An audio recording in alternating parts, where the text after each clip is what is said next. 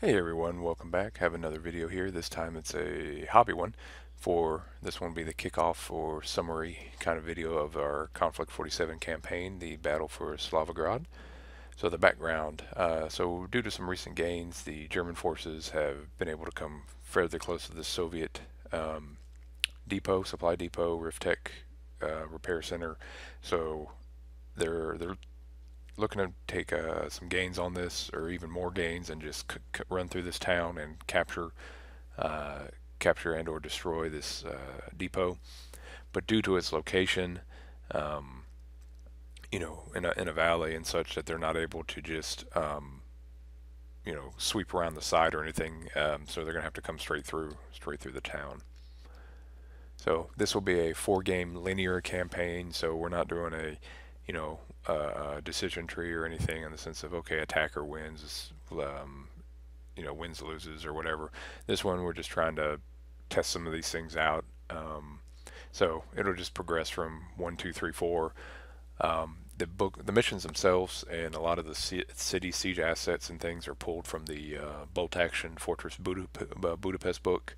Um, this will simply, uh, it'll be an attacker-defender setup. In this case, it is the German forces are the attacker, Soviets are the defenders, and then uh, we are allowing, at least in the first mission, uh, the combat jump rules, which uh, these have been modified to account for uh, the fact that some units have flight in Konflikt 47. And in the, yep, and then here's the rules themselves. Uh, just leave these here for a second if you want to read over them by all means pause the video and then coming into our first uh, the first game. So obviously this will be the German forces are rolling in. They're looking to capture the town as quickly as possible. They think they were slick and um, trying to catch the Soviet forces unaware. As, as noted they didn't.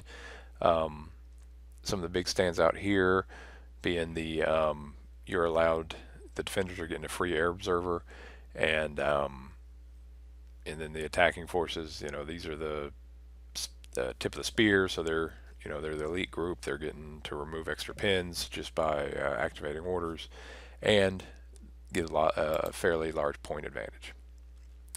So the next one coming in here is secure the foothold. So the idea being, like I said, we're we're just playing through. Doesn't matter if the attacker wins or not. We're going to the next one. Uh, this is the you know securing the foothold. So they've they've rolled up to the outskirts of town, made contact. Now they're advancing in, you know, just trying to gain as uh, much ground as they can and, and get a, a base of operations. This one, um, going into the city fight, it is being played on a 4x4. The primary goal is the capturing table quarters. Uh, so the um, the idea being is obviously they've they came in into town, they met resistance, and now they've disembarked and are are marching through and trying to, to capture everything. Then here's the, the, we roll into game three. This is you know they got their foothold. They're um, you know they're trying to capture the key locations and things of the town now. Um, this mission in particular, uh, scenario 12, it is modified from the book, but um, if you can get a chance, it is worth playing even just in a non-campaign setting. Um, because it's uh, units are popping up off the objectives. Uh, in the case of defenders, um, they can pop off the objectives considering this is their, their town, so they know all the little secret ways.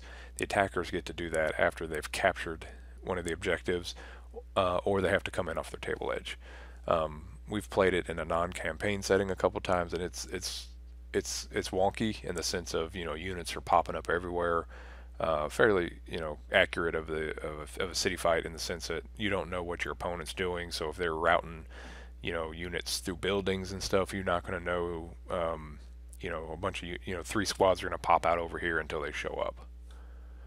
And then the final one, uh, like I said, they it's the um, we just assume the attackers are winning from a from a mission standpoint uh, rolling in the next one. So yeah, this is the final holdout. So here's the the Soviet forces in this case are going to be you know they've pulled up everything, secured everything, and they're trying. This is where they hold the line. You know, Stalin's not one step back, so we're set up to you know do everything we can to stop them from hitting the uh, or getting to the supply depot.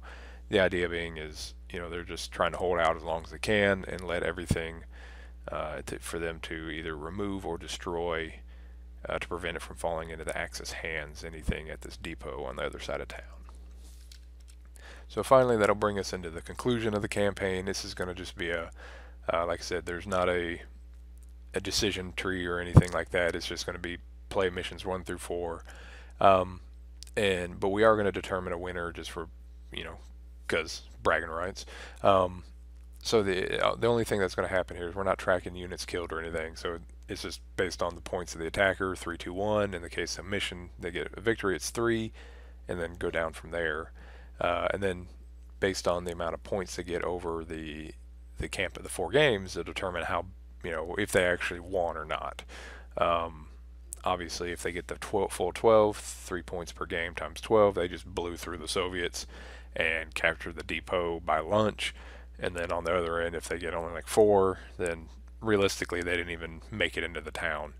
Um, you know, they were stalled out and all sorts of unpleasantness on their side. But overall, this um, I just wanted to create this video to because I may not remember uh, doing the battle reports all the details or just kind of the, some of the nuances of, of what's going on in each mission, or at least to explain it thoroughly in the battle report video, and also to kind of give a give a consolidation point for for all the like the missions and the rules and things.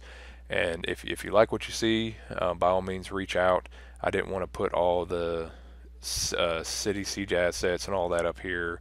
Um, and you know I didn't want to just copy and paste the Fortress Budapest book or, or, my mission pack up here, but I do have I do have it. So if it is if this sounds interesting for you and your group, um, by all means reach out and I'll pass it along. Um, like I said, hopefully we're, we're, you know by this time we'll be we've played through it at this point once or twice, and um, hopefully we can get you you know get you a, a more cleaned up version. Thanks for watching and hope you enjoy.